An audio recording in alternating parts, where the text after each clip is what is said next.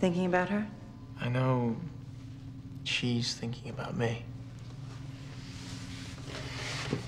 This bond that you have with her, it's so different from the way I was taught. Still, it must be incredible to learn to love like that.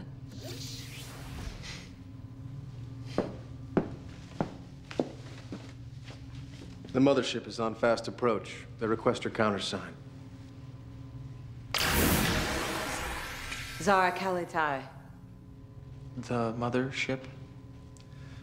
The Royal Transport, Clark. A floating palace. It will take us to New Krypton. Palace? I'm not sure I'm really ready for a palace. She will uncloak now. It's a spacecraft, though, right? I mean, when you say palace, you don't really mean like a palace.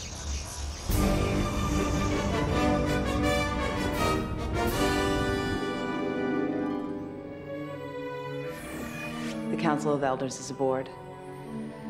Our subjects wish to bid you welcome, Lord Kal-El.